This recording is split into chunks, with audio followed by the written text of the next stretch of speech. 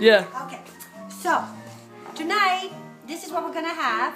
It's a wonderful. Um, I forgot for a moment. A halibut that has wine and tomatoes and cilantro and lemon. And what's so nice is that I can make it ahead of time today. I made it a couple hours ago. Put it in the refrigerator, and when my guests arrive, I'm gonna put it in the oven. Nice. Um, we're gonna have what these, these? wonderful. They're little onions uh, that have been um, that are seized in here in a in a pan, and um, then I, I I'll explain it on the website. Right. Just very very simple. The potatoes come over this way.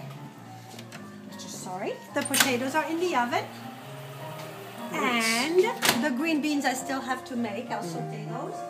And tonight, I'm so excited about this. This is uh, a rustic galette with plums, and it's gonna be wonderful. I, I know because the crust. Oh, look at this! My nails match.